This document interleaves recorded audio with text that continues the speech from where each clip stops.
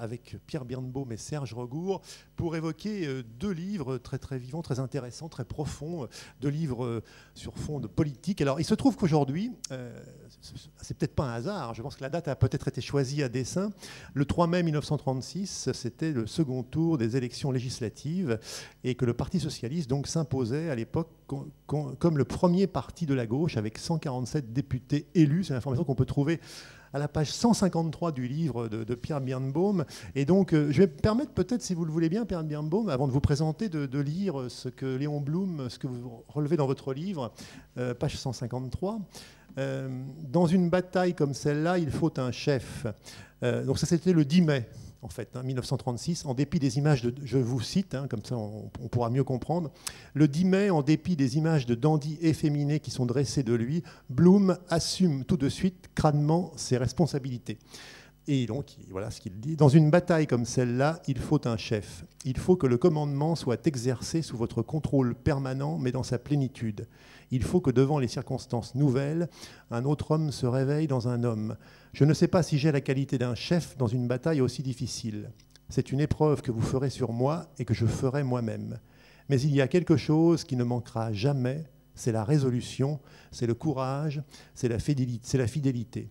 Je ne viens pas ici en vous disant éloignez de moi ce calice, je n'ai pas voulu cela, je n'ai pas demandé cela. Si, si, j'ai demandé cela parce que cela, c'est la victoire de notre parti au sein d'une victoire républicaine. Voilà, et Pierre, donc c'est aujourd'hui en plus le, début de l'examen de la loi travail. Il se trouve que l'actualité euh, rejoint, si je puis dire, 1936. Euh, bah, euh, donc je vous présenter Pierre Birnbaum, vous êtes professeur émérite donc à l'Université Paris 1 Panthéon-Sorbonne. Vous êtes l'auteur de nombreux ouvrages, parmi lesquels Les Fous de la République, Histoire politique des Juifs d'État de Gambetta à Vichy, au Seuil en 94, Le moment antisémite, Un tour de la France en 1898 également chez Fayard en 1998 la publication, La République et le cochon au Seuil en 2013 et Les désarrois d'un fou de l'État, entretien avec Jean Baumgarten et Yves Deslois chez Albin Michel en 2015. Et vous nous proposez un, j'ai envie de dire, alors Robert Paxton, qui est quand même une référence en la matière, écrit à propos de votre livre la plus personnelle des biographies de référence. Je crois que c'est vraiment une biographie. Alors je, ne prétends pas pouvoir comparer avec d'autres livres écrits sur Léon Blum, mais moi elle m'a fortement intéressé. Je trouve qu'il y a un axe euh, très marqué dont on aura, on aura l'occasion d'en parler, une biographie très très personnelle vraiment de, de Léon Blum.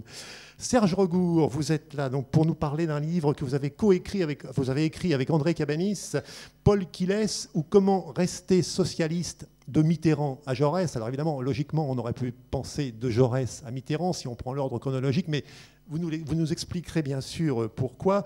Euh, donc là aussi, donc euh, un livre sur Paul Quiles, donc aux éditions du Cherche Midi. Euh, donc Paul Quiles, qui a été euh, notamment directeur de la campagne présidentielle de François Mitterrand en 1981, ministre de la Défense, ministre de l'Intérieur, député, président de commission parlementaire.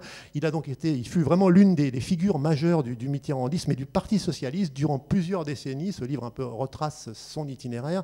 Il est aujourd'hui maire de Cordes-sur-Ciel, donc il est, il est sur le territoire, on va dire, de, de Jaurès et on verra vous, vraiment vous, dresser tout son parcours jusqu'à présentement, j'ai envie de dire, Paul Quiles qui devrait peut-être nous rejoindre si on, l'attend, donc voilà.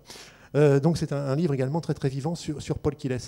Pierre Birnbaum, je vais commencer par vous, comme je l'ai dit, euh, donc qu'est-ce que qu'avez-vous voulu faire de précis en, écrivant sur Léon Blum? Est-ce que vous vouliez D'abord, le sous-titre est important. C'est un portrait, et on sent tout de suite quand on commence la lecture qu'il y a euh, vraiment une volonté de, rendre cette, cette, biographie vraiment très vivante, de tout en évoquant euh, tous les aspects d'une personnalité assez complexe, hein, un écrivain, euh, grand amateur de littérature, dandy, mais aussi quelqu'un qui a toujours était au, cœur de ses convictions et qui les a défendues toute sa vie, et avec aussi, moi, ce qui m'a surtout intéressé, mais pas seulement, bien sûr, euh, c'est aussi de vous tenter de vraiment d'analyser un peu euh, un mouvement de l'antisémitisme politique qui, rejaillit à, cette période, notamment très fortement de, l'histoire de France. Voilà, j'espère avoir été euh, assez général dans, dans mon introduction. Vous remercie beaucoup de, votre question et de, votre bienveillance.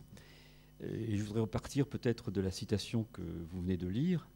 Je crois qu'en effet, on a là le, cœur même de, ce personnage, enfin de, l'image de ce personnage, c'est-à-dire c'est un homme extrêmement courageux. C'est un homme euh, qui assume ses responsabilités. Et le mot de courage est assez euh, étonnant. Quand on parle de Bloom, on imagine un être euh, fragile, un homme qui s'intéresse à la littérature, un amoureux de Stendhal, de Fabrice Del Dongo, un amoureux de la Sanseverina et de, du Rouge et le Noir de Lucien Leven, qui vit sa vie autour de l'amour, autour, on l'appelait le, petit Bob, celui qui menait les cotillons, c'était un bourgeois, un bourgeois lettré, un bourgeois qui a fait l'école normale supérieure, qui est également un amoureux de l'État, puisque vous le savez, qu'il devient, il entre au Conseil d'État. Donc il a une personnalité extrêmement multiple. C'est à la fois un, homme d'État, puisqu'il est commissaire du gouvernement et il siège au Conseil d'État, qui est la plus haute instance du droit administratif en France, pendant près de 15 ans. Donc il est vraiment. Et, ses conclusions restent encore des conclusions que les étudiants, que les étudiants étudient en droit, en droit administratif. Je cite une déclaration de Vedel, par exemple, tout à fait extraordinaire sur, sur Bloom. Et puis en même temps, dans cet aspect un peu multiple de cette personnalité, on a là quelqu'un qui fait face à l'adversité avec un courage absolument inimaginable. Dans ce petit livre, j'évoque par exemple un certain nombre d'exemples de, ce courage avant d'en arriver justement au Front populaire. Des exemples qui sont assez peu connus par l'historiographie habituelle de, de, Léon Blum. Par exemple, le duel c'est un homme qui se bat en duel avec une violence, une férocité, un aplomb qui détonne. Il est là avec son chapeau très élégant, un dandy, mais qui sait tirer l'épée, qui affronte l'adversaire et qui se bat courageusement.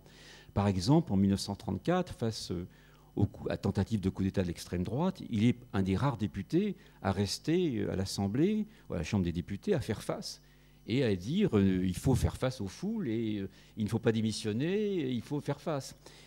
Ce courage, il va le déployer tout au long de sa vie. Par exemple, à Rion, face aux Allemands, lorsque les Allemands arrivent, tout le monde lui dit il faut vite partir, vous êtes juif, vous êtes socialiste, ils vont vous tuer. Blum dit mais pas du tout, je dois rester là, sinon je trahirai ma patrie. Donc il affronte l'adversaire, il affronte la milice, il affronte les Allemands, et il est seul pratiquement face à Vichy, et il, triomphe physiquement, enfin oralement, il, parvient finalement à être tellement euh, cohérent dans sa réfutation de l'accusation de Vichy que les Allemands mettent un terme au procès pour ne pas se ridiculiser. Alors je reviens à votre question.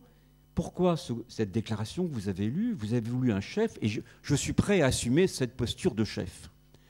Donc c'est quelqu'un qui, face à l'adversité, et vous savez que nous fêtons le 80e anniversaire aujourd'hui même donc de la victoire du, Front populaire, du 3, 3 mai et 4 mai 36, le 4 janvier 1936, il va être nommé chef de gouvernement. Donc c'est lui qui accède au pouvoir dans une circonstance infiniment plus dramatique que celle de François Hollande aujourd'hui. Vous avez les, ligues d'extrême droite par milliers qui manifestent dans les rues. Vous avez la crise de 29. Vous avez Hitler aux poches, aux portes de la France. Et vous avez, on y reviendra peut-être, et c'est un des points qui me paraît essentiel dans ce livre, qui est une façon de réhabiliter Blum, je pense, vous avez en France la plus forte proportion d'immigrés du monde. 3 millions d'immigrés, vous voyez ce que je veux dire dans la France d'aujourd'hui. Vous avez 3 millions de personnes sans papier, la plus forte proportion au monde. Et on voit Bloom intervenir de manière personnelle. Aux archives, on trouve un grand nombre de lettres qu'il écrit lui-même, qu'il rédige lui-même à des, immigrés qui viennent d'Espagne, qui viennent d'Italie, qui viennent de Grèce, qui viennent de Pologne. Il prend le temps, en étant chef du gouvernement, face aux accords Matignon, aux grèves, aux occupations d'usines, la France est en révolution. Et il prend le temps néanmoins de répondre à ces immigrés et d'intervenir en leur faveur. Il y a, dans ce livre que vous tenez à la main, vers la page 160-165, une lettre extraordinaire qu'il adresse au ministre de la Police, au ministre de l'Intérieur, et il lui dit, vous êtes en train de faire des rafles en France contre les immigrés. Et je vous, je vous somme d'arrêter de, rafler les immigrés. C'est contraire à la République, c'est contraire à la tradition française républicaine. Là encore, voyez le clin d'œil par rapport, disons, à la situation qui est la nôtre aujourd'hui. Il y a là une sorte, à travers ce personnage, il y a là une ampleur, un messianisme, une sorte d'universalisme, de, de, de morale, d'éthique, de respect des autres et des étrangers en particulier, qui est tout à son honneur. Et on voit là un homme, au fond, qui, dans une situation extrêmement complexe, prend une posture euh, tout à fait étonnante, puisqu'elle va changer l'image de la France. elle va changer la France moderne, puisque c'est le seul moment, au fond, depuis la Révolution française, où la nation, dans sa profondeur, se transforme, où les rapports entre les classes évoluent et où le peuple, enfin, se trouve justifié, réhabilité au sein de l'espace public. Alors pour en revenir un petit peu, reprendre un peu le début du livre, vous parlez à un moment donné, j'avais noté ce, passage, le portrait de lui-même que Bloom s'attache à construire, d'une image à l'autre, campe un personnage qui diffère en tout point des juifs d'État à la française. J'ai l'air de revenir un peu à ce que je disais en introduction, mais je crois que c'est important. Vous parlez de l'affaire Dreyfus, vous parlez de Dreyfus, vous parlez, vous parlez de Léon Blum, mais en quoi justement il diffère, parce que c'est un, un, juif d'État, mais en quoi, il est, en quoi est-il différent justement de l'idée euh, habituelle du juif d'État à la française? Là, il faut revenir à. Vous m'incitez à, à, m'auto-citer un livre que j'ai écrit en 1992, je pense, qui s'appelait Les fous de la République, et où j'ai proposé au fond ce concept de, de juif d'État pour le distinguer des juifs de cour, en montrant comment la société française est une société totalement exceptionnelle, puisque grâce à l'État fort qu'elle a pu construire, les minorités ont pu entrer sur des bases méritocratiques, et grâce à l'universalisme de cette société, dans la fonction publique, dans l'appareil d'État. Donc c'est la seule société au monde dans ce cas. Ce n'est pas le cas ni dans les pays totalitaires, ni dans les pays démocratiques comme euh, les États-Unis ou la Grande-Bretagne, parce qu'il y a une classe supérieure, un capitalisme protestant qui les en a empêchés. Donc il y a là une spécificité propre à la France, à son exceptionnalisme, qui a permis aux minorités, dès les lendemains de la Révolution française, dès les années 1820, 1830, d'accéder au poste de, colonel, de général, de préfet, de juge à la Cour de cassation, de président de Cour de cassation, de président de Cour d'appel, et bien évidemment de ministre, de député, de sénateur.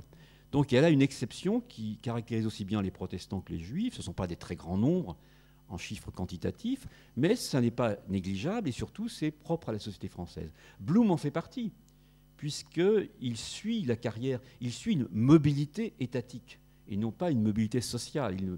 Il, construit sa carrière non pas à travers le monde des affaires, les professions libérales, les docteurs, être médecin, être avocat. Il, construit sa carrière à travers l'école normale supérieure, la fonction publique, et puis ensuite le Conseil d'État, encore la fonction publique. Donc on a là quelqu'un qui est dans la tradition de ce que j'ai appelé les juifs d'État, c'est-à-dire le, lien très étroit qui s'est constitué entre l'État à la française et l'accès des minorités, les protestants en font partie également, puisque les, élites catholiques, face à la République, à la Troisième République, se retirent de la République. Un grand nombre d'entre elles démissionnent, les élites catholiques contre la laïcité, etc. Et en même temps, Bloom marque une transformation de cette catégorie, puisque en général, ils sont comme le sont, à, l'instar des autres de leurs collègues de, la Chambre des députés, ils sont modérés. Ils sont conservateurs ou ils sont modérés. Il n'y a pas de socialistes jusque tard au XIXe siècle à la Chambre des députés.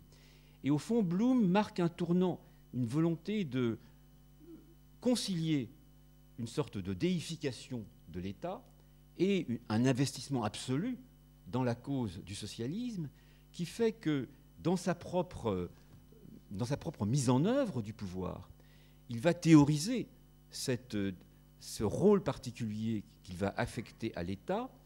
Et à la différence du marxisme du Parti communiste ou des pivertistes, de l'extrême gauche trotskiste et des grandes traditions socialistes de l'époque, mais en suivant un peu le modèle de Jaurès, il va montrer comment l'État peut être à l'abri, à l'écart du capitalisme, et qu'on ne peut pas réduire l'État au capitalisme, et qu'on peut au contraire utiliser l'État comme un levier. C'est un peu ce que fait Roosevelt au même moment en 36, 37, 35, 34 aux États-Unis. Et à travers l'État, entreprendre des grands travaux comme le fait Roosevelt. Il ne pourra pas le faire en France, puisqu'il n'est pas dans la même situation. Il n'est pas président comme les, Roosevelt, il est président du Conseil. Il doit tenir compte d'une majorité extrêmement fragile. Il n'a pas, disons, le, le pouvoir qu'aura Mitterrand pendant 10 ou 12 ans en étant président de la République, Blum est président du Conseil d'une majorité extrêmement fragile, et il va être capable néanmoins, à travers, disons, un, courage et une vision messianique de transformation de la société qui s'est véritablement perdue au XXe siècle, il va être capable, au fond, en un an, puisqu'il perd le pouvoir en juin de l'année suivante.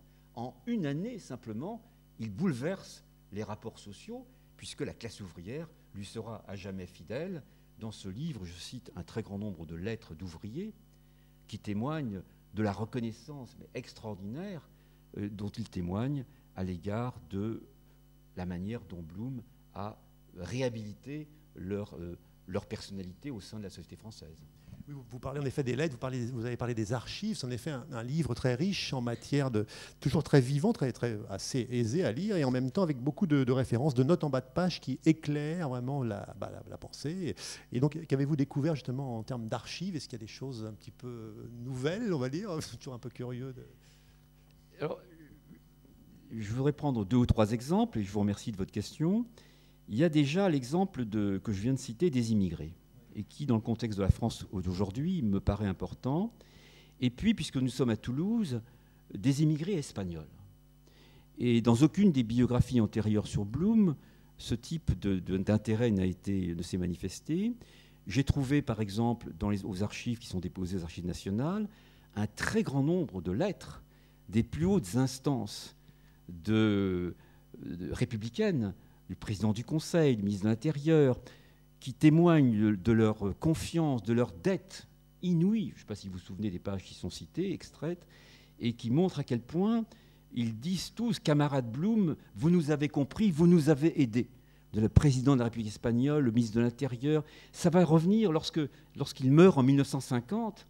Dans ces mêmes archives, j'ai trouvé un très grand nombre de télégrammes bouleversants des responsables d'associations d'immigrés espagnols, précisément nous sommes ici à Toulouse, d'immigrés espagnols qui vivent encore en France en 1950 et qui écrivent des télégrammes à la veuve de Blum ou au Parti socialiste et qui disent Blum, nous vous regrettons, nous vous nous, nous, nous, pensons à vous, vous avez été l'un des seuls à vouloir euh, euh, nous sauver ou nous aider. Donc il y a toute cette dimension de la réhabilitation de Blum à l'égard de la guerre d'Espagne.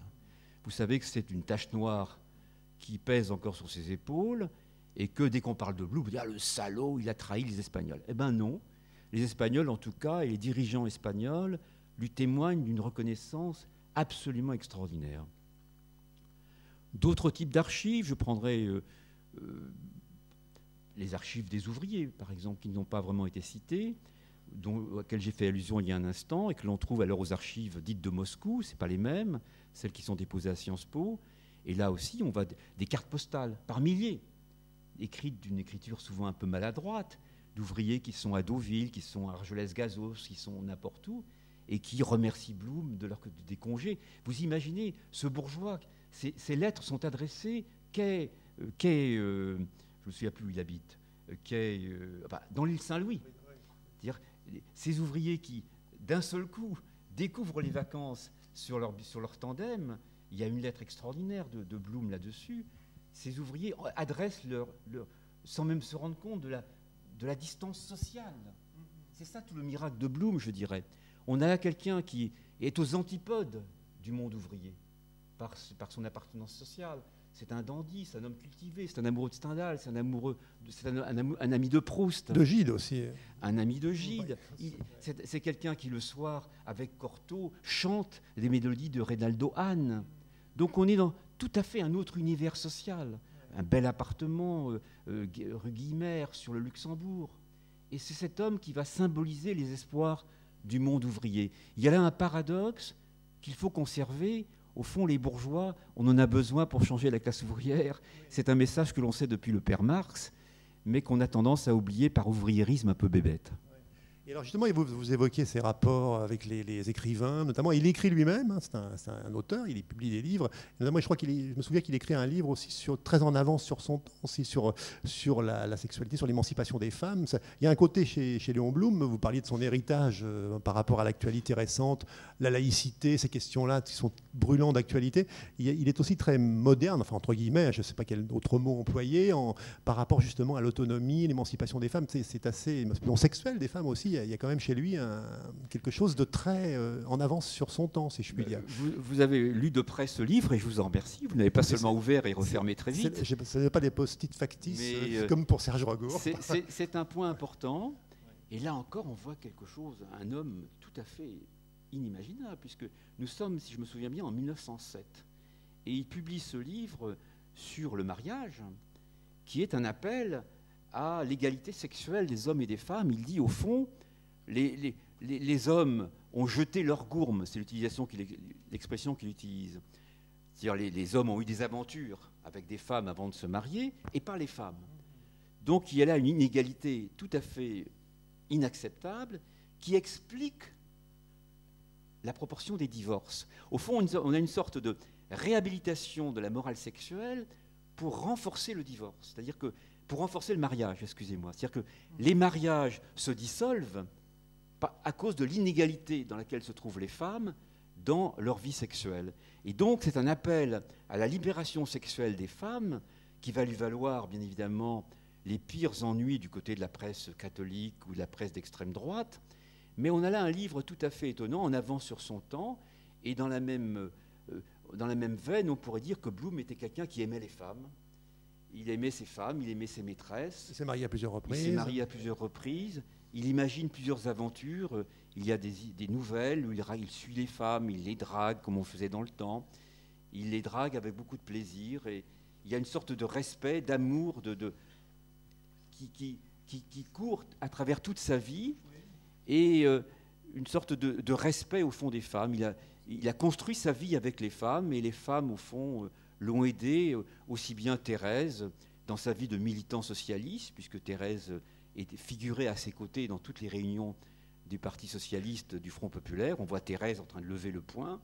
Et elle, est à ses côtés, elle l'encourage dans sa vie politique, dans ses meetings. Près de Toulouse aussi, il y a des lettres où il envoie, il écrit J'aurais, c'est à la tribune ou je ne sais plus qui, quelle barbe, qu'est-ce que je m'ennuie, j'ai envie de te retrouver, j'ai loué une chambre à Toulouse, à l'hôtel machin, on va se retrouver ce soir. C'est quelqu'un qui vit au fond à la fois sa vie politique, sa vie sentimentale avec beaucoup de passion, et euh, c'est quelqu'un qui est au fond un, un, grand nombre de traits qu'il arrive à, maîtriser tout ensemble. Et ce que l'on peut dire pour terminer sur ce point, et je vous remercie de l'avoir évoqué, il nomme, et c'est le premier en France, il nomme trois femmes au gouvernement, alors que les femmes n'ont pas le droit de vote. Les femmes n'ont pas le droit d'être députées, elles n'ont pas le droit d'être électrices, elles ne peuvent pas être élues, et néanmoins, il nomme trois femmes euh, au gouvernement du Front populaire. C'est là une révolution, c'est là une forme de reconnaissance, au fond, du rôle des citoyennes dans la transformation de la société, et cette reconnaissance, il pensait qu'elle passait aussi par une égalité sexuelle. Il a fallu vraiment beaucoup de temps pour la mettre en œuvre dans la France contemporaine. Il y a évidemment, vous en parlez évidemment, il y a la, rencontre avec, Jaurès qui, le marque fortement et toute une période où ils vont se rencontrer à plusieurs reprises, où il va être vraiment, euh, ils vont déjeuner ensemble, si je me souviens bien, enfin ils se voient régulièrement. Ça nous mènera justement après au livre sur, Paul Quillès de Serge Regour et André Cabanis, puisque ou comment rester socialiste de Mitterrand à Jaurès, voilà, ça me servira. Euh, pouvez nous en parler un petit peu de cette rencontre avec Jaurès? J'avais noté cette, cette, page justement euh, qui l'a fortement marqué, cette fidélité cette, à Jaurès, puisqu'il a quand même été très... Euh, je, dirais que là encore, on, voit une continuité idéologique, c'est-à-dire la nécessité de maintenir la démocratie en construisant le socialisme. Et donc, Blum rencontre Jaurès dès l'affaire Dreyfus, et c'est dans ce cadre-là, c'est-à-dire le combat contre l'injustice.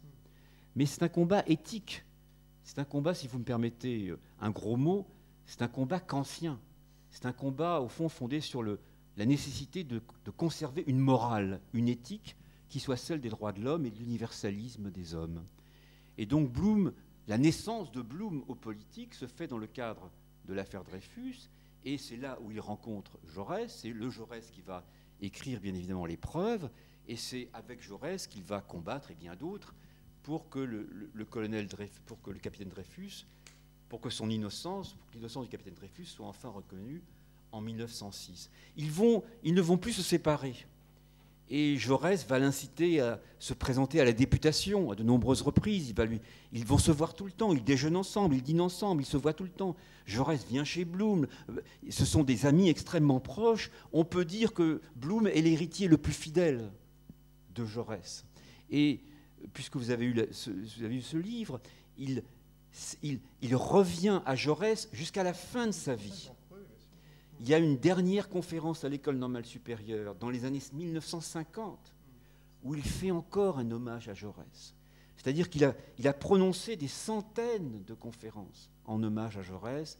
Il est marqué par Jean Jaurès. Il est pratiquement le dernier à l'avoir vu avant son assassinat. Il est quelqu'un, au fond, qui partage une sorte de messianisme, de conciliation entre la tradition révolutionnaire française et la nécessité de construire le socialisme, d'intégrer au fond le peuple dans ce message révolutionnaire.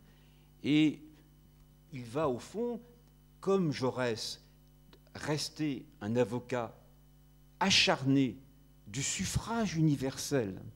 Il n'y a pas de changement social sans le respect absolu du suffrage universel. C'était le message de Jean Jaurès. C'est le message de Blum, à un moment évidemment où le Parti communiste se contrefiche sur les ordres de Moscou du suffrage universel. Il va changer d'avis à partir des années 34-35 en abandonnant la stratégie classe, contre classe sur les ordres de Staline et il va s'intégrer au processus de suffrage universel. Mais la théorie au fond politique est une théorie hostile au suffrage universel qui, était condamnée par euh, Rosa Luxembourg, qui était condamnée par Trotsky, qui était condamnée par tous les, dirigeants bolcheviques, puisqu'il y a des phrases de ces dirigeants bolcheviques qui disent que, et Sartre reprendra la même image, que le suffrage universel, c'est l'isolement des individus dans l'isoloir. Et l'isoloir, disait Sartre, c'est la trahison. C'est-à-dire que dès que l'on vote, on quitte la solidarité ouvrière. Blum n'en croit rien, et Jaurès non plus. Et je pense que c'est un message absolument essentiel de nos jours encore. Le, changement de la société ne peut se construire que dans le respect du suffrage universel, à travers la pédagogie, à travers euh, l'élaboration, à travers l'éducation politique, et non pas à travers la violence, à travers la prise du pouvoir par la rue. Il y a là chez Blum, de même que chez Jaurès, une continuité qui se fond néanmoins sur une, sur une adhésion au marxisme. Blum reste marxiste très longtemps de sa vie il, continue à se, référer au marxisme, mais il applique, pour lui, la dictature du prolétariat ne peut passer que par le suffrage universel. Et autrement, il y a une contradiction qui mène au bolchevisme, et donc à la dictature, et donc au totalitarisme. C'est un message dont nous ne sommes pas encore sortis, et qui reste encore, qui pèse encore sur nos épaules, et dont nous devons encore tenir compte je vais me permettre de lire simplement quelques lignes avant de passer la parole à Serge Regour et à Paul Quiles qui, nous a rejoints. Euh, donc sa santé, donc c'est la, la, fin de Léon Blum, sa santé se détériore brusquement. Le 30 mars 1950, il décède d'une crise cardiaque. L'émotion est intense. Une figure de la nation, l'héritier de Jaurès, l'inventeur du Front populaire, porteur d'un messianisme social qui a si profondément transformé la société française, vient de s'éteindre. Voilà, c'était et euh, donc on a bien compris tout, l'héritage en effet que, nous transmet euh, Léon Blum, un héritage très riche. Serge Regour, Paul Quillet, j'imagine, en, ayant entendu euh, Pierre Birnbaum parler de Léon Blum, parler de son livre, qu'est-ce que vous inspire justement ces, ces, réflexions sur Blum, Jaurès sur, voilà, Je vous laisse la parole. Alors d'abord, je voudrais dire que je suis heureux aujourd'hui d'être aux côtés de Pierre Birnbaum, parce que je connais ses travaux depuis longtemps, il se trouve que je suis encore euh, professeur de droit public, donc je confirme que Léon Blum, euh, commissaire du gouvernement euh, du Conseil d'État, est encore un sujet de commentaire que nous donnons régulièrement à nos... L'arrêt Lemonnier. Exactement, et, et d'autres. et je, avant de parler de, mon propre ouvrage, je, voudrais dire que j'ai lu euh, très attentivement euh, le bouquin sur Léon Blum et que euh, je me permets de le recommander vivement à ceux qui sont ici. D'abord parce que ça se lit de manière extrêmement simple, c'est extrêmement clair et en même temps c'est très érudit et on, découvre des, éléments euh, du parcours de Bloom qu'en tout cas des, gens comme moi ne connaissaient pas nécessairement, notamment euh, tout ce qui est relatif, je crois que le chapitre s'appelle euh, De l'amour, vous avez évoqué tout à l'heure la, vie privée, etc. Beaucoup d'éléments qui n'ont pas été évoqués dans le débat, notamment indirectement le, congrès de Tours et oui, en effet période le gardiennage de la vieille maison, etc. Beaucoup d'éléments. Bon, bref, c'est un très beau bouquin. Et je pense évidemment qu'il a quelques relations, quelques connexions avec euh, ce qui a été euh, euh, notre travail sur la biographie de Paul Quiles. Alors évidemment, il y a beaucoup de, points différents. Je crois que c'est Lacan qui disait que le, biographe risquait d'être un cerf. Et je crois que le risque est d'autant plus grand que la biographie concerne un personnage vivant. Euh, parce qu'après tout, si euh, euh, Pierre Bernbaum avait écrit des choses que Léon Blum n'aurait pas aimées, Léon Blum ne serait pas là pour lui reprocher. en revanche, écrire la bio d'un personnage encore vivant est évidemment risqué parce que, ben, notamment, il y a le contre, j'allais dire, risque de faire une agiographie.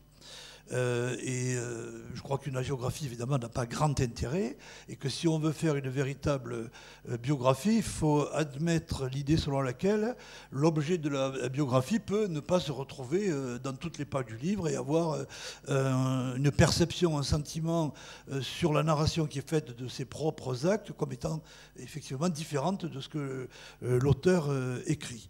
La deuxième euh, différence peut-être euh, avec euh, l'ouvrage de Pierre Benbaum, c'est que nous n'avons pas, pour notre part, évoqué du tout la question de la vie privée de Paul Quiles. S'il a envie d'en parler, il faudra le faire in situ. Mais nous, avons, c'était un parti pris d'entrée de ne pas du tout aborder la question de, la vie privée, mais uniquement de son itinéraire politique. Et l'autre grande différence peut-être, euh, je ne parle pas du tout évidemment de, comparer les livres du point de vue de leur, euh, de, leur qualité ou de leur intérêt historique, mais simplement de, la méthode choisie ou de la problématique adoptée, c'est que euh, évidemment nous voulions faire la, biographie de Paul Quiles pour des raisons sur lesquelles je pourrais revenir, mais à travers en quelque sorte un fil conducteur un prisme qui était notre problématique choisie euh, au départ et qui est de ce point de vue-là très différente, dont rencontre le, sous-titre, euh, c'est euh, comment l'itinéraire de Paul Quiles peut-il être un prisme pour comprendre les évolutions et ce que moi je considère pour ma part comme les mutations du Parti socialiste aujourd'hui? D'où évidemment euh, le titre dont vous avez euh, justement très souligné, le, renversement historique, qui est de Mitterrand euh, à Jaurès et pas de Jaurès à Mitterrand, puisque la problématique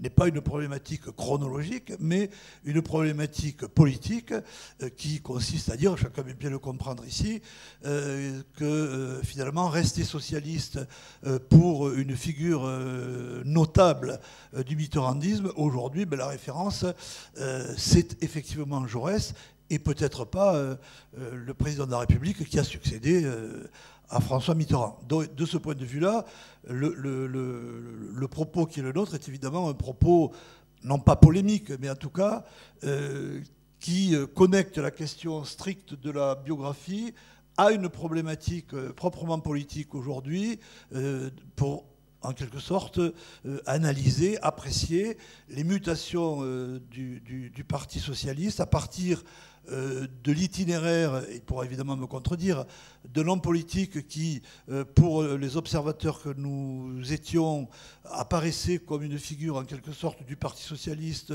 euh, d'une figure légitimiste au cœur du dispositif du Parti socialiste et qui n'était pas en tout cas à l'aile gauche du Parti socialiste, et notamment la première émission euh, de Paul Quiles euh, dans la fédération euh, du Parti socialiste à l'époque dominée par l'aile gauche et par le CRS, c'est plutôt effectivement, je mets des guillemets, de, les combattre, de les réfuter, de les marginaliser. Et aujourd'hui, sans que, me semble-t-il, les valeurs, les références de, Paul Quiles n'aient aucunement changé, il se trouve déporté, en tout cas c'est notre regard, euh, à l'aile gauche ou extrême gauche du Parti euh, socialiste, c'est-à-dire avec un regard euh, très critique qui tient évidemment aux évolutions du Parti socialiste, dont ce serait un euphémisme de, que, de relater ici qu'il n'est plus directement dans la ligne précisément de l'héritage de Jaurès ou même de Blum à travers tout ce qui a été rappelé tout à l'heure. Vous précisez en plus que vous-même et André Cabanis n'êtes pas de conviction politique. Vous le dites, vous l'écrivez hein, dans le livre. Ça, donc Oui, je, je n'invente rien. donc, une conviction Si vous voulez, vous avez raison de, Oui. le, de le dire, et c'est évidemment un, avertissement au lecteur dès l'introduction. C'est un problème euh, d'honnêteté intellectuelle par rapport à ce que je disais euh, de- de- du, du jugement ou de la boutade de, Lacan, un biographe, c'est un cerf. Le risque de la géographie, il se trouve que ni euh, André Cabanis ni moi-même n'avons jamais été membres du, du Parti euh, et que le regard que nous pouvions euh, amener était évidemment un regard euh, de l'extérieur et pas de l'intérieur. Et si je veux être tout à fait euh, honnête, on pourrait dire, parce que ça peut devenir pour ceux qui nous connaissent respectivement un secret de Polichinelle, que mon, regard en amont était plutôt un regard depuis la gauche du Parti socialiste et le regard d'André Cabanis était un regard depuis la droite du Parti socialiste.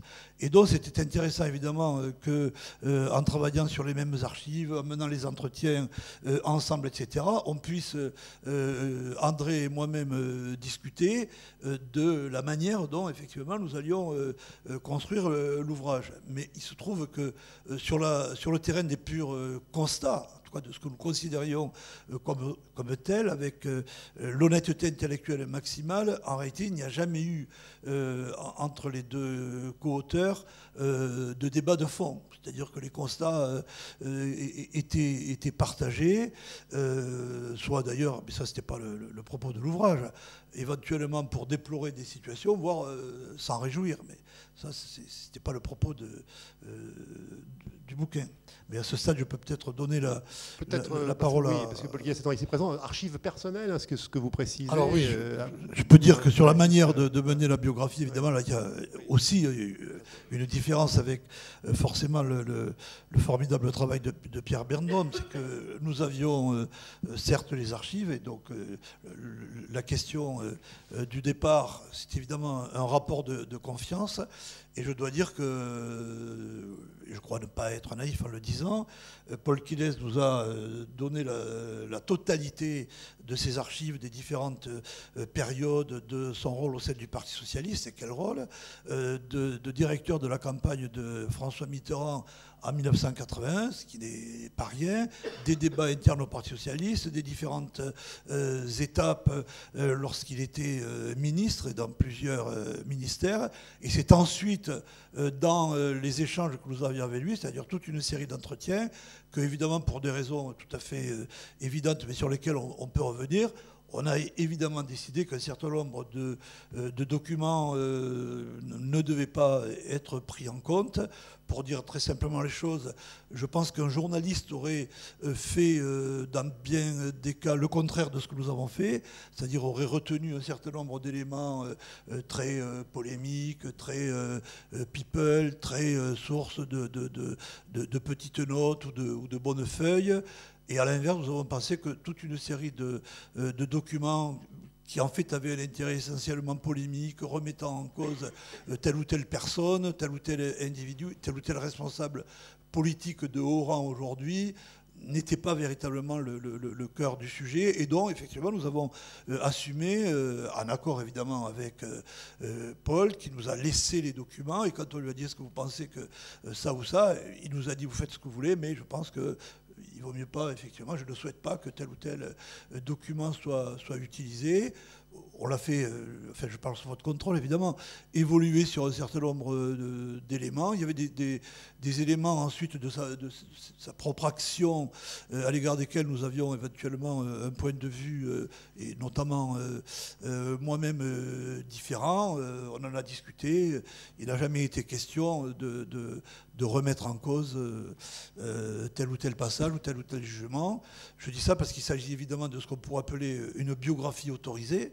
On n'a pas fait contre euh, Paul Quiles. Ça a été euh, un travail euh, mené pendant près de trois ans avec beaucoup de, rencontres, de débats, d'examens de, textes, avec des moments évidemment où on aborde des sujets polémiques au plan national, mettant directement en cause, par exemple, ses relations avec des gens comme Lionel Jospin, comme, comme Laurent Fabius, comme évidemment François Hollande, évidemment.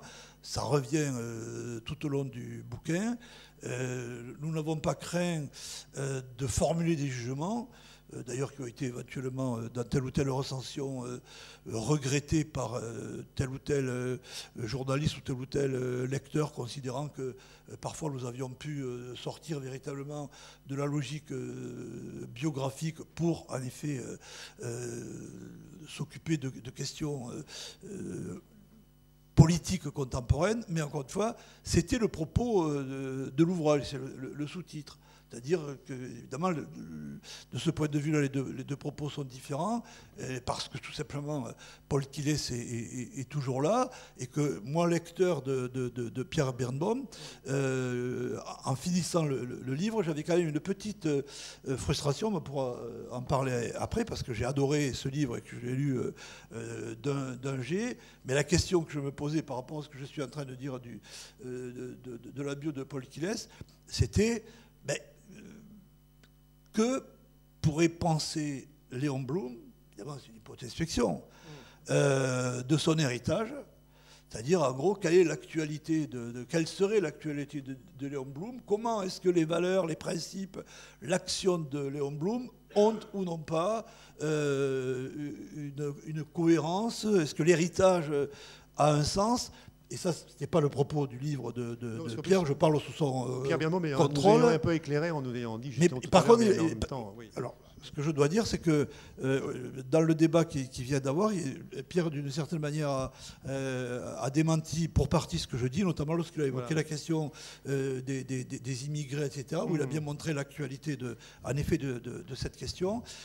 Et dans l'ouvrage sur Paul, en fait, c'était ça, en permanence, juger aujourd'hui euh, le Parti socialiste euh, à partir de cet héritage, qui est notamment l'héritage de Jaurès. Et le fil conducteur, euh, c'est effectivement l'héritage de Jaurès. Serge Regour, si vous permettez, on peut peut-être passer la parole à Paul Quillet. et peut-être voilà, quelques points de vue sur l'héritage de Léon Blum, sur Jaurès. Enfin, voilà, je vous laisse.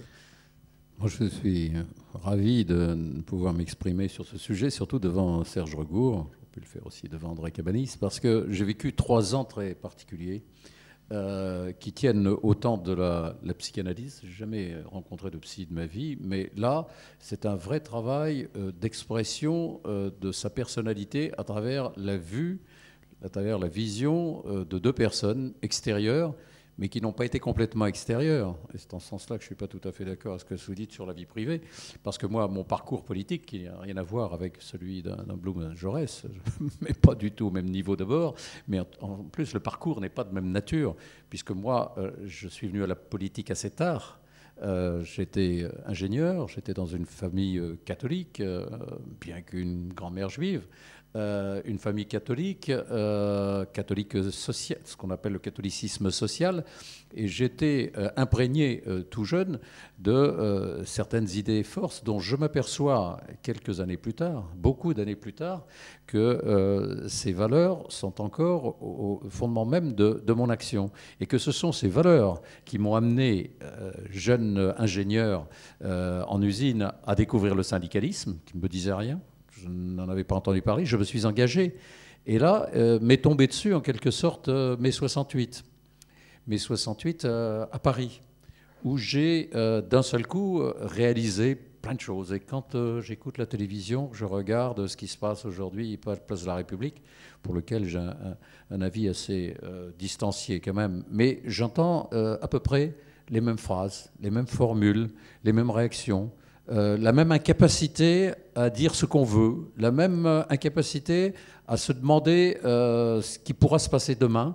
Et c'était exactement ce que j'entendais à la Sorbonne en mai 68 et qui m'a amené euh, dans les mois, les années, les années qui ont suivi, à prendre un, engagement politique au Parti socialiste qui venait juste de se constituer après le congrès d'Épinay et de Mitterrand que je ne connaissais absolument pas. J'ai commencé à m'intéresser à la politique à ce moment-là et à m'y intéresser justement, je m'en suis pas bien rendu compte, à travers justement cette euh, formation euh, familiale que, j'avais eue, et un engagement fort que j'ai abandonné ensuite euh, du point de vue de, ma foi, bien sûr. Je, l'ai abandonné, enfin, j'ai bien sûr, non, je l'ai abandonné, mais euh, cela euh, m'est resté. Et ce que je voulais dire, et ça rapproche un peu du, du parcours de Bloom, en tout cas, de l'influence que les événements que l'on traverse peuvent avoir sur votre propre engagement.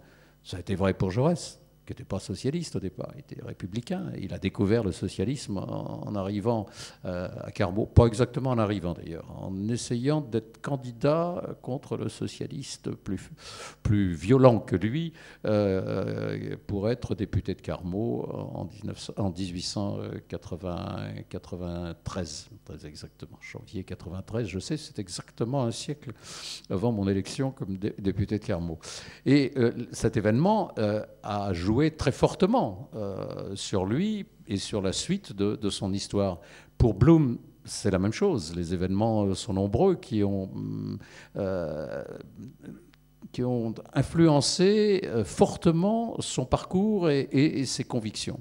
J'aurais tout à l'heure une question, euh, Pierre Bienblon, je ne la pose pas tout de suite, par rapport à un article que j'ai lu ce matin dans, le Figaro. Euh, si vous ne l'avez pas lu, je vous le conseille fortement.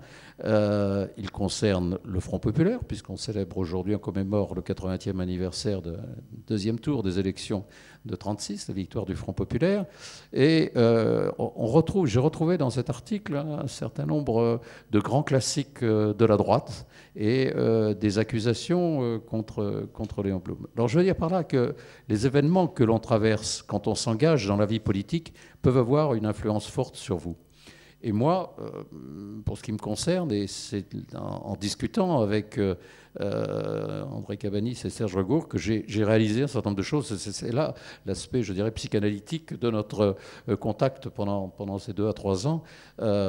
c'est à la fois passionnant et en même temps, c'est extrêmement douloureux parce que ça vous révèle à vous-même un certain nombre de choses que vous avez faites avec pas dire qu'on en a des regrets ou des remords, non, juste un constat de ce qu'on n'avait peut-être pas vu sur, euh, sur le moment.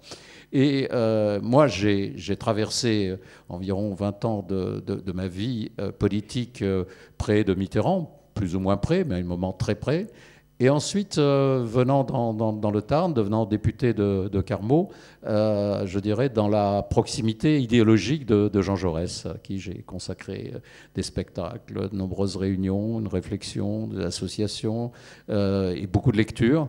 Et je me suis aperçu que tout ce à quoi je tenais quand j'étais euh, dans l'entourage de Mitterrand, quand j'ai été euh, un des dirigeants du Parti socialiste, je le retrouvais dans ce qu'étaient euh, les fondements même de, l'action de, Jaurès. le fondamental qui était l'amélioration du droit des travailleurs, la justice sociale, les institutions. Moi, j'ai écrit un livre là-dessus, euh, c'était en 2000, il y a 16 ans, pour dire que ces institutions euh, quasi monarchiques de la Ve République euh, devenaient dangereuses. Elles le montrent aujourd'hui, en plus avec les transformations intervenues en 2000. Et aussi, et pour moi, c'est une partie de mon engagement actuel, ce fondamental dans l'engagement de Jaurès, qui était la recherche de l'arbitrage international, la recherche de la paix. il en est mort. Il en est mort parce que on l'accusait d'être pacifiste, lui qui avait écrit euh, L'Armée nouvelle en, 1911. Et j'entends aujourd'hui, dans, mon combat contre l'armement nucléaire, pour le désarmement, pour l'arbitrage international. Je ne suis pas un pacifiste, entre guillemets, euh, on dit toujours pacifiste bélan, mais ça n'a rien d'insensé d'être pacifiste, et je, souhaiterais que tous les hommes les femmes de gauche et les socialistes soient pacifistes, mais euh, on, pense toujours que pacifiste, c'est euh, l'abandon. C'est l'abandon de la défense, c'est ce que j'appelle le complexe Albert Lebrun. Et de ce point de vue-là, dans l'article que j'évoquais il y a un instant, euh, la critique de la droite revient contre Léon Blum, Léon Blum, qui, je crois, en 1935, avait écrit des choses un peu étonnantes sur euh, euh, le désarmement. il a changé d'avis hein, en 1938 après, après Munich. Et, l'accusation contre le Front populaire d'avoir désarmé la France est une accusation insupportable, elle est fausse. Mais il est vrai que euh, Blum a eu des, propos un peu mm, peut-être maladroits et euh, dangereux, puisque euh, par rapport au réarmement de l'Allemagne, à Hitler, il avait une attitude un petit peu, je dirais, presque naïve à son égard. Et je retrouve aujourd'hui, dans les accusations dont je suis l'objet, quand dans mon propre parti, j'essaye, j'essaye de moins en moins parce que je crois que c'est sans espoir, de faire passer le message qu'il faut s'intéresser au désarmement nucléaire. Euh, mais je continuerai à le faire, ne craignez rien, c'est dans mon tempérament d'aller jusqu'au bout de mes, de mes combats. Euh, on me dit, mais ce n'est pas très responsable, le monde est dangereux. Donc à partir d'une affirmation euh, rapide, euh, insuffisante, incertaine, non fondée, le monde est dangereux. Ben, il a toujours été dangereux. Il l'était il, y a, il y a 40 ans, il était il y a 20 ans, il était il y a 10 ans, il est aujourd'hui, il le sera demain. Mais sous prétexte que le monde est dangereux, il faut s'armer toujours plus et ça a entraîné cette folie de la course aux armements entre 1990 et, entre 1945 et 1990. Et on me dit tu es, tu, tu es, tu es un peu naïf, tu es passé. Et d'un seul coup, je retrouve euh, des accents euh, qui furent ceux euh, de la gauche à une certaine époque et, qui peuvent être encore aujourd'hui, à travers ces, ces, grandes valeurs qui furent celles de Jaurès, reprises par Blum, qui devrait être, à mon sens, reprise par la gauche et notamment par le Parti socialiste aujourd'hui. Vous aviez une question pour, à propos de Léon Blum, peut-être pour Pierre bah, C'était celle-là. C'était celle-là. C'était par rapport à. Et, j'avoue que, cet article que je, que je vous recommande, euh, qui s'appelle très exactement euh, L'autre visage du Front populaire démolissage du, Front populaire, bien entendu, euh, très, très classique, sur euh, les 40 heures, sur l'effondrement de l'économie, sur euh, l'alliance avec les bolcheviks, évidemment. On retrouve tout classique, que j'ai réentendu, curieusement, en 1981. En 1981, je, n'imaginais pas, je connaissais l'histoire, mais je n'imaginais pas qu'on nous ressortirait le couteau entre les dents, les chars russes, enfin soviétiques, on disait à l'époque, sur la place de la Concorde. Ben, il faut faire peur. Et aujourd'hui, justement, ce qui me fait peur, à moi, c'est qu'on retrouve sous d'autres formes cette façon euh, d'inquiéter les, citoyens avec euh, euh, des, lubies, avec des phrases approximatives, avec des, des, éléments qui ne sont pas prouvés, mais qui peuvent conduire, parce que suffrage universel, parce que suffrage universel, qui peuvent conduire à des catastrophes. On le voit dans d'autres pays pas loin de la France. Ce, point que vous évoquez est important et c'est probablement l'un des points les plus négatifs, je dirais presque, de, l'histoire de Bloom. il s'explique aussi par le contexte de la Première Guerre mondiale, la période qui a succédé à la Première Guerre mondiale, et où la France tout entière est pacifiste. Et la peur d'une nouvelle guerre est tellement ancrée que ça n'est même pas, euh, comme vous l'avez dit il y a un instant, par mégarde, euh, Bloom écrit article sur article en faveur du désarmement dans le populaire. Dans beaucoup d'autres, il fait des conférences. Et j'ose à peine le dire tellement c'est triste. Il est muni quoi? C'est-à-dire, euh, oui, pendant quelques jours, il, met 3-4 jours avant de, réagir, mais sa première réaction, il parle de lâche soulagement. C'est-à-dire, les accords de Munich sont signés, ce qui est le plus terrible moment du XXe siècle, presque, un des moments les plus terribles du XXe siècle. Et pendant deux jours, il dit Je me félicite d'un lâche, lâche soulagement. La vie reprend, écrit-il. C'est triste, c'est épouvantable, une phrase pareille. Et il se reprend au bout de deux jours, il, il, remet en question ce lâche soulagement et il va tourner le dos euh, à ce pacifisme, à cette paix à tout prix.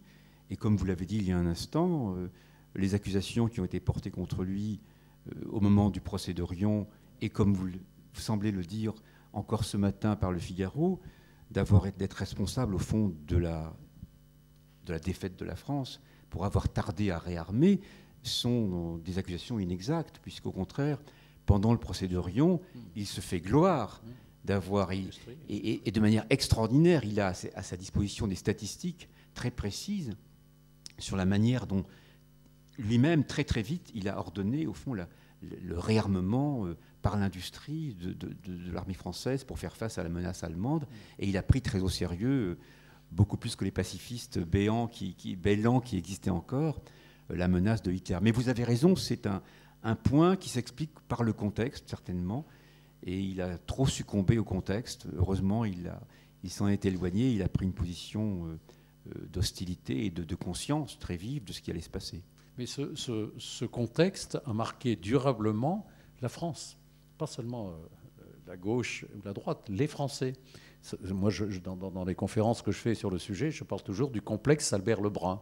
C'est-à-dire, euh, et sur quoi euh, De Gaulle a, surfé pendant des années, c'est euh, je défends la France, et ensuite la bombe atomique nous permet la sécurité absolue, on ne va pas nous faire le coup de nous envahir.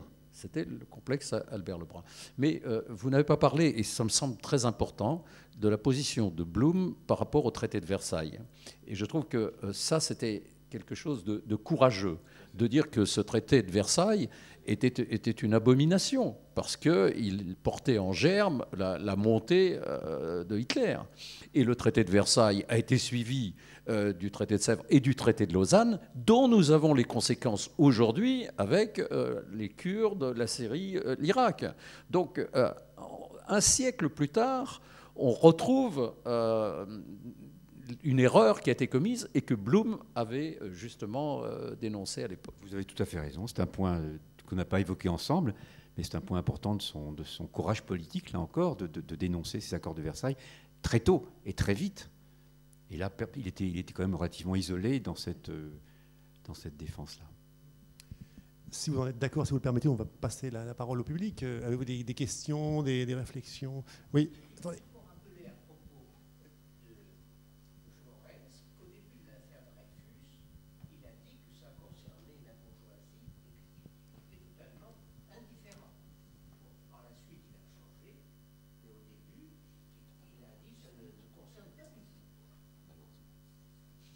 Dans, le, film, euh, le spectacle que connaît euh, Serge, euh, qui s'appelle Jaurès, une voix pour la paix, que, j'ai fait jouer par Claude Moreau à Carmaux l'an dernier.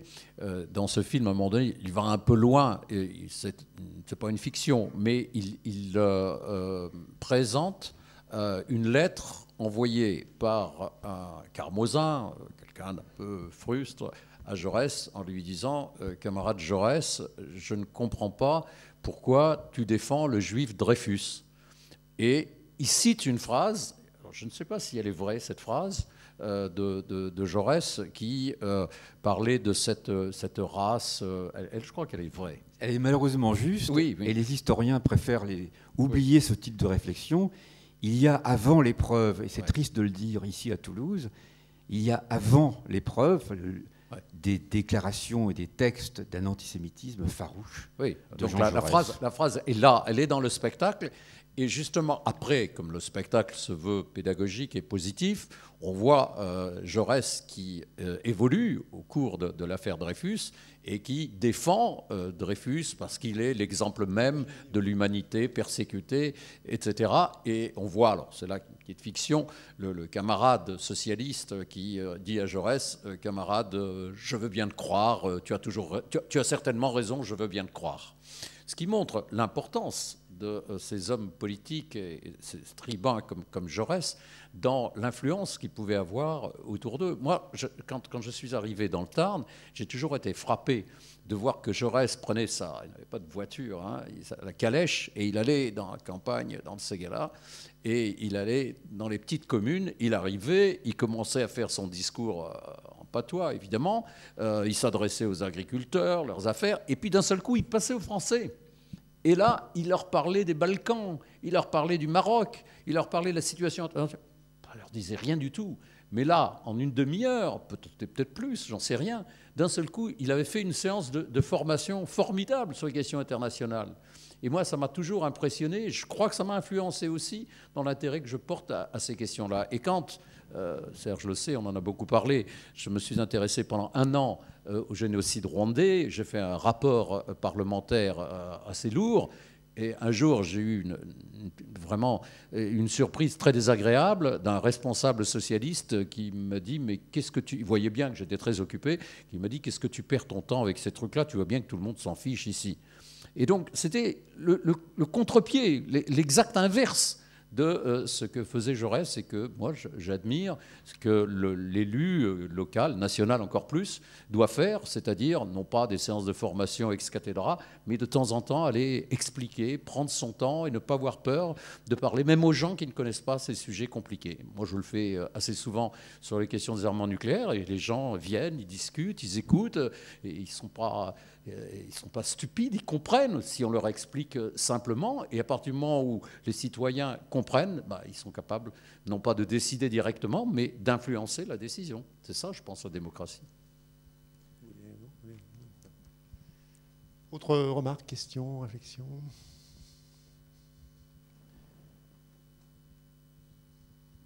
Dans ce qu'on a dit sur Léon Blum, il y a des choses qu'on a peut-être laissées dans l'ombre, Pierre Birnbaum, mais bon, je pense qu'il faut peut-être aussi laisser. Ah, voilà.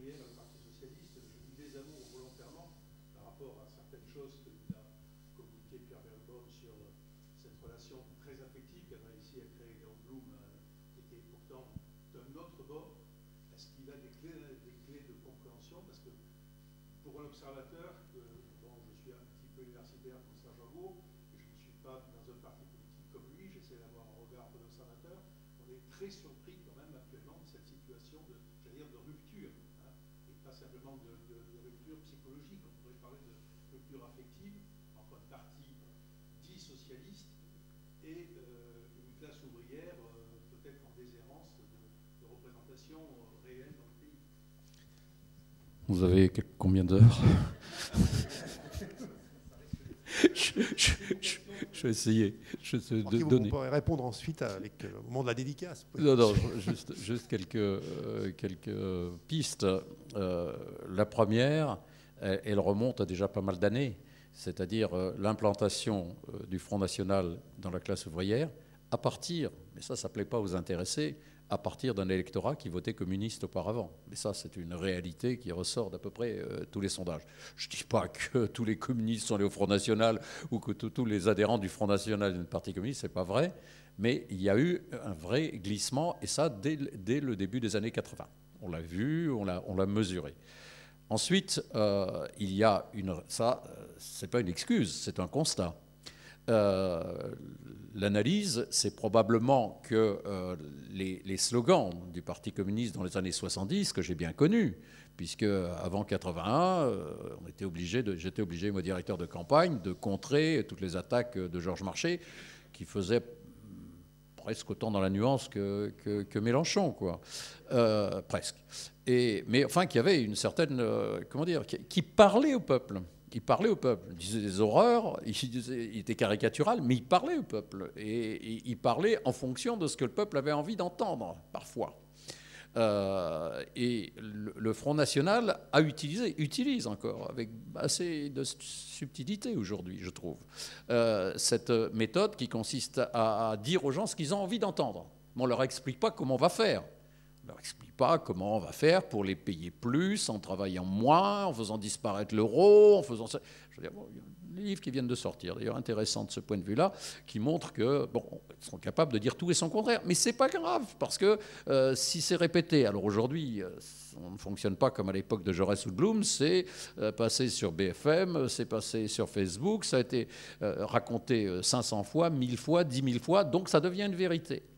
Et par rapport à cette méthode d'attaque, euh, la gauche, Parti socialiste en particulier, sont très mal outillés, très très mal outillés. Alors sur le fond politique, c'est là qu'il faudrait y passer plus de temps.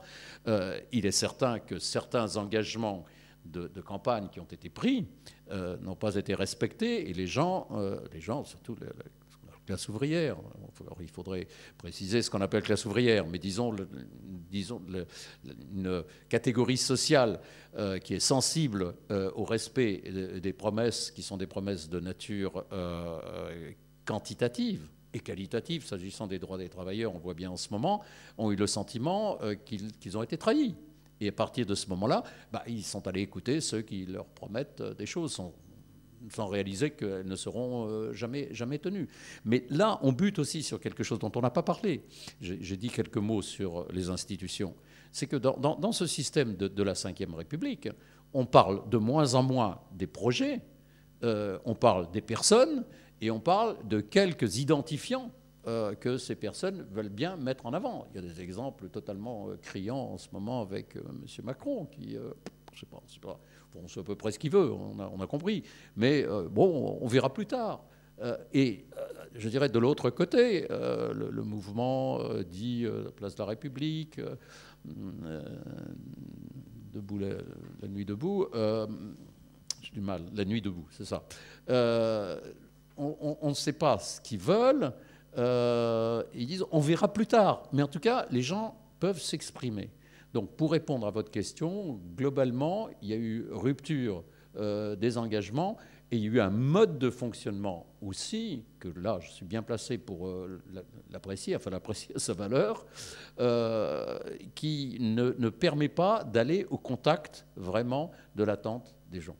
Et euh, trop, euh, trop souvent, les partis politiques, le Parti socialiste comme les autres d'ailleurs, mais le Parti socialiste en particulier, euh, a été ressenti comme un parti de notables, de militants cherchant à devenir assistants parlementaires pour devenir députés, pour devenir ministre, pour devenir président de la République. Ça, c'est ce qui a été ressenti c'est pas exactement ça, euh, mais ça a été ressenti comme tel, et à partir de ce moment-là, euh, cette désaffection commence à gagner. Mais enfin, il faudra en parler plus longuement pour voir dans les différents domaines comment cette désaffection, euh, sur laquelle je souhaite qu'on puisse revenir un jour, mais pas tout de suite apparemment. Dernière question, enfin dernière façon de parler, dédicace donc des, auteurs ici présents, réflexion, ou est-ce qu'on passe directement? Oui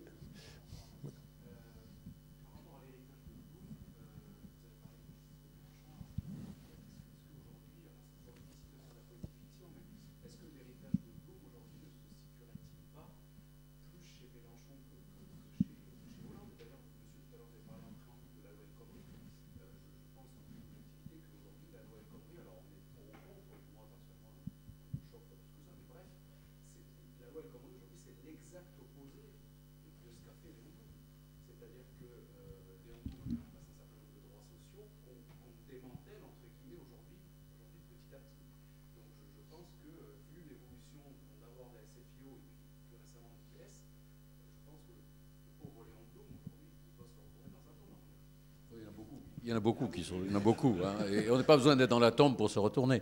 Euh, mais euh, non, moi je ne dirais pas comme vous, je pas. Alors là, faire très attention. J'ai souvent entendu euh, à propos de Jaurès qu'aurait dit Jaurès, qu'aurait fait Jaurès au congrès, au congrès de Tours, que penserait Jaurès, etc. Il ne faut pas faire parler les, morts.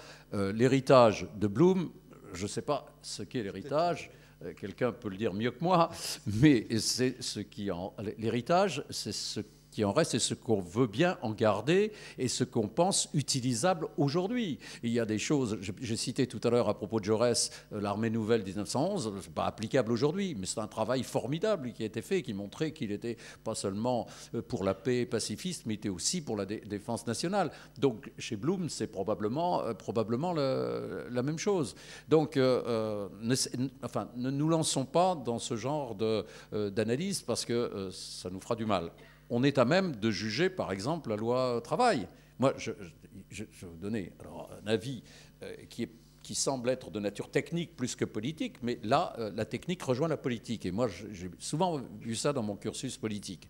Au lieu de lancer un projet au départ qui a été mal construit, la meilleure preuve, c'est qu'il a été détruit, redétruit, reconstruit. De lancer sans avoir dit quel était véritablement l'objectif, ou avoir laissé euh, percé que c'était un objectif qui pouvait être tellement apprécié par le patronat qu'il était suspect, mieux valait organiser pendant un an un débat. Et celui qui vous dit ça l'a fait pour euh, les postes et communications. Pendant euh, neuf mois, on a travaillé. Pas de projet de loi, pas de discussion avec les parlementaires, avec les partenaires sociaux, avec le personnel, 450 000 fonctionnaires, on a discuté avec euh, les clients, on a discuté avec les médias, on a discuté avec euh, les chefs d'entreprise, avec les étrangers, on a discuté avec les syndicats, à la fin, on a discuté avec les parlementaires, et c'est à, l'issue de tout ça qu'il y a eu un projet de loi. Et ça, s'est plutôt bien passé. il y a eu des critiques, il y a eu des débats, comme toujours dans la démocratie, mais ça n'a pas été un drame et un scandale comme ça peut l'être aujourd'hui, parce qu'on a, a mis exactement la machine à l'envers. Et il ne faut pas s'étonner qu'à la fin, on ait cette espèce de pagaille où on ne sait plus euh, très bien ce qu'il y a dedans. Moi, je, lis, je relis, euh, je suis euh, un peu atterré de voir où est-ce qu'on va se rendre. Et je suis incapable, à l'heure qu'il est, de savoir comment ça se terminera dans quelques jours. Oui, tout de même, pour répondre un peu autrement à votre question, je pense que vous avez quand même. je, ne rattacherai en rien Mélenchon à Blum, ça, ça va de soi. Ils ont même rien à voir, enfin, dans la manière d'être, euh, leur, culture, leurs valeurs euh, sont totalement antithétiques, leur manière de voir le monde et la manière dont ils imaginent que le monde puisse changer. Mais là où vous avez raison, certainement, c'est qu'il y a, euh, entre la période contemporaine et l'espoir soulevé par le Front populaire, non pas un reniement, mais un changement profond. Et prenons simplement le point, un point très technique, celui des conventions collectives. C'est-à-dire, on tourne le dos aux conventions collectives aujourd'hui, alors qu'elles sont euh, inventées aux accords Matignon. C'est-à-dire qu'on a de 36 à aujourd'hui, on a exactement le contraire. De ce point de vue, vous avez tout à fait raison. Et les, accords Matignon et la signature des conventions collectives marquent un point essentiel dans la manière dont le monde ouvrier et les syndicats ont tenté de défendre la classe ouvrière. De ce point de vue, il n'y a, aucun doute. Mais peut-on peut-on prendre n'importe quelle décision dans n'importe quel contexte? C'est-à-dire que la France d'aujourd'hui est, saisie à la gorge par le libéralisme dominant et euh, la manière dont même Blum est attaché à la, mise en œuvre par l'État d'une politique sociale, un peu comme Roosevelt qui invente le New Deal. Euh, il n'est pas absolument certain qu'on puisse. Euh, enfin, c'est désirable et je, vous suivrai tout à fait dans ce sens-là ici. Mais il y a là une contradiction terrible que la société française affronte dans des conditions très fragiles. C'est probablement la société la plus menacée au monde par le libéralisme, par les échanges internationaux, le, rôle du marché à travers le, libre-échange et euh, le modèle, l'exceptionnalisme français de gestion des rapports sociaux à travers le rôle de l'État, qui met un terme aux grèves, qui gère les grèves, etc., de médiation, tout cela est en train de s'écrouler. Il n'est pas certain que Blum aurait pu faire quoi que ce soit, euh, que euh, réussit mieux Hollande. Enfin, ce sont des, des, questions difficiles et tristes. Enfin, mais il faut prendre conscience aussi des contextes différents et de la possibilité ou non. Comment? Oui, voilà, on peut en rester là peut-être sur ce point. Je voudrais quand même ajouter un, petit mot euh, qui sera un petit peu différent de ce qu'a dit euh, Paul Quiles. Il se trouve que lorsqu'on a commencé la, bio de Paul Quiles, euh, j'étais dans la position, et les mots sont de Paul Quiles, de beaucoup de euh, sympathisants ou d'électeurs euh, de gauche, puisque je ne suis pas proprement parler militant, à l'égard de Jaurès, dont euh, Mitterrand parlait comme la Vierge Noire, c'est-à-dire un objet, une figure iconique, symbolique. La plupart des, militants socialistes, voire même des responsables socialistes, invoquant en effet la figure de, Jaurès sans véritablement l'avoir lu, le connaître. Et je me suis aperçu que moi-même, universitaire, je connaissais évidemment euh, un certain nombre de, généralités, mais que euh, par rapport à l'enjeu qui était le nôtre, finalement, ma, connaissance de, de l'œuvre de Jaurès était insuffisante. Et donc, dans cette période-là, je pense, prétends pas avoir tout lu, parce qu'il y a beaucoup, beaucoup de choses qui ont été écrites, mais j'ai lu quand même beaucoup euh, d'ouvrages, de textes de, de, de, Jaurès, des textes absolument magnifiques, prodigieux. Et moi, je réponds à votre question, mais alors ça a la moindre ambiguïté, qu'évidemment, de mon point de vue, euh, c'est même pas un jugement de valeur, pour moi, c'est un constat. Il n'y a strictement aucun rapport entre les principes, les valeurs défendues par Jaurès et la politique menée aujourd'hui par un gouvernement dit socialiste qui est supposé se référer à ces valeurs. Alors évidemment, on peut introduire la variable d'ajustement de Pierre Birnbaum consistant à dire, ben évidemment, le contexte a, changé, ça, évidemment, on peut le, prendre en compte. Mais en revanche, bien que le contexte ait changé, je peux, moi, euh, universitaire qui travaille assez régulièrement dans des problématiques livresques, établir des filiations euh, de la politique menée aujourd'hui avec euh, des penseurs euh, de, de l'époque de Jaurès, du temps de Jaurès ou du temps de Blum. Et là, les filiations peuvent être établies et qui manifestement ne relèvent pas de la pensée et du courant socialiste, indépendamment des mutations contextuelles. D'ailleurs, euh, Pierre Birnbaum a très nettement évoqué, et comment pourrait-on faire autrement, euh, la question effectivement du, néolibéralisme, du libéralisme euh, sans rival. Alors on peut toujours penser que bah, ben, les, eaux glacées du calcul égoïste sont le devenir indépassable de l'humanité, mais à ce moment-là, il n'y a plus de pensée socialiste. Voilà, bah, écoutez, je vais vous inviter à, rejoindre nos trois, nos trois invités donc, pour cette séance de dédicace. Alors, l'excellent livre de Pierre Birnbaum, donc euh, Léon Blum, importé aux éditions du Seuil, et donc Serge Regour qui vient de signer avec André Cabanis, Paul Quiles ou Comment rester socialiste de Mitterrand à Jaurès au Cherche Midi. Merci beaucoup et bonne continuation de journée et soirée.